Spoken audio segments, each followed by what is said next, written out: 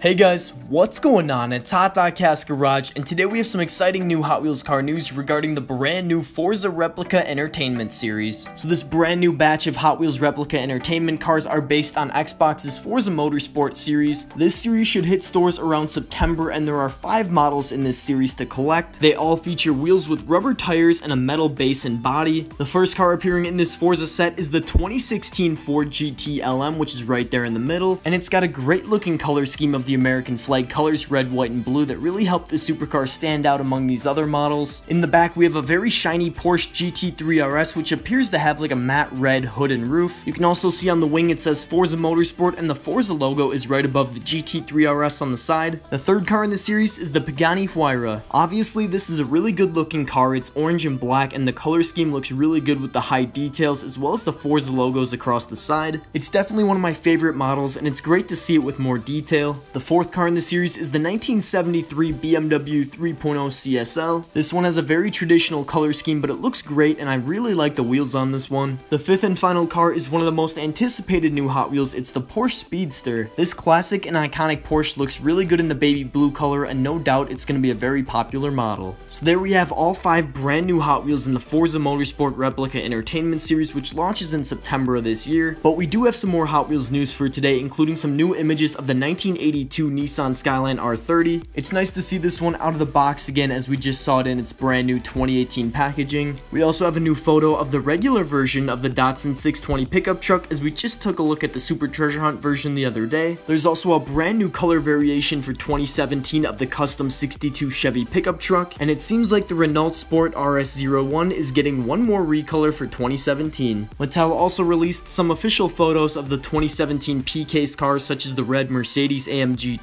The 1990 Honda Civic EF, Street Wiener which is a new model, Roadster, Loopster, and Crescendo. So guys, that is all the brand new Hot Wheels car news I have for today. If you want to stay up to date with the latest Hot Wheels cars and news, make sure to subscribe and I'll see you guys on my next Hot Wheels video. Thanks for watching.